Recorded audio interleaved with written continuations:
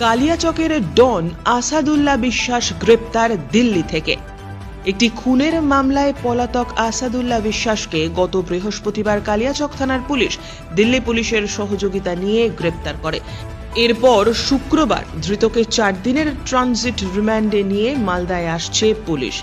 কালিয়াচকের ডন আসাদুল্লাহ বিশ্বাসের বিরুদ্ধে জাল, নোট, মাদক, খুন, খুনের চেষ্টার মতো প্রায় পঞ্চাশটি পুরনো মামলা রয়েছে পুলিশের খাতায়। এর মধ্যে গত আঠেরোই আগস্ট মুজমপুরের বাসিন্দা ওয়েদুর শেখকে পিটিয়ে খুনের অভিযোগ ওঠে আসাদুল্লাহ বিশ্বাস সহ তার অনুগামীদের বিরুদ্ধে।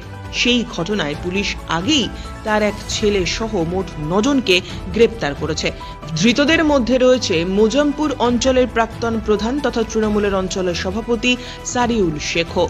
তবে এতদিন পলাতক ছিল মুজমপুরের ত্রাস, আসাদুল্লাহ বিশ্বাস। কিন্তু বৃহস্পতিবার দিল্লিতে সে পুলিশের জালে ধরা পড়ে। এরপর চার দিনের ট্রানজিট রিমান্ডে তাকে মালদা নিয়ে আসা হচ্ছে। এ প্রসঙ্গে কি জানিয়েছেন মালদা জেলা পুলিশ সুপার প্রদীপ কুমার যাদব, শোনাবো আপনাদের।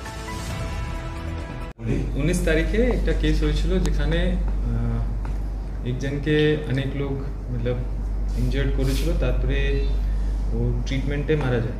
তো তারপরে একটা কেস হয়েছে কালেচাকে one two nine one twenty four dated nineteen eight twenty four তো ওখানে আমরা আগেও অ্যারেস্ট করেছি চারজনকে আর তারপরে একটা অ্যাকিউজ অ্যারেস্ট হয়েছে।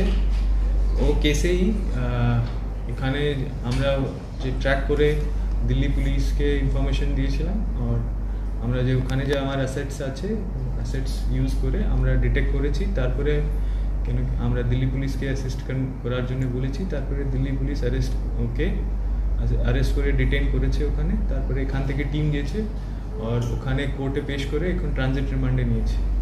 আমরা ট্রানজিট রিমান্ডে এখানে নিয়ে আসব। তারপরে ফার্দার ইন্টারোগেশন হবে ও কেসের জন্য। কালকে অ্যারেস্ট হয়েছে ও অফিসিয়ালি কালকে হ্যাঁ কালকে মতলব দিল্লি পুলিশও অ্যারেস্ট করেছে। আমরা ওখানে গিয়ে কোর্ট থেকে কোর্টে ওকে ফরওয়ার্ড করেছি তারপর থেকে ওখান থেকে ট্রানজিট রিমান্ড নিয়েছি। কতদিন আছে? ট্রানজিট রিমান্ড ফোর ডেজ ওখানে জাল নোট পাওয়া গেছে কি ওখানে? না না। একটা দিল্লি পুলিশ একটা কেস দিয়েছে। না না ওটা তো ওল্ড কেসেস কথা জানেন ওর অনেক কেস রেকর্ডস আছে অনেক হিস্ট্রি আছে যেখানে যার মধ্যে এনডিপিএস আছে মার্ডার কেস আছে অ্যাটেম্প টু মার্ডার আছে আর ফাইভ সিএন আছে তো সেরকম অনেক কেস আছে around forty fifty cases we know but he has some around references in around fifty cases Kalighat থানা পুরা নোটিশটা তো আছে হ্যাঁ ও অনেক দিন অনেক অনেক কেসেস আছে এখানে ওনার এগেনস্টে তো কিন্তু আমরা যে অ্যারেস্ট করেছি ও লেটেস্ট কেসে অ্যারেস্ট করেছি। ইডি ইডি বা সিবিআই কোনো কেস আছে ওটা একটা এনআই কেস রেফারেন্স ছিল কিন্তু ইডি ওর আমরা এখন জানি না আমরা দেখতে হবে ওনার কি মালদায় ঢোকার ক্ষেত্রে নিষেধাজ্ঞা ছিল? Yes high court had given that মতলব এখানে কিছু কিছু কন্ডিশনস আছে যেখানে কোর্টে অ্যাপিয়ারেন্স আছে বাকি কন্ডিশনস আছে ওখানে মতলব তাছাড়া উনি মালদাতে ঢুকতে পারেন। সেরকম হাইকোর্টের একটা আদেশ আছে। আগের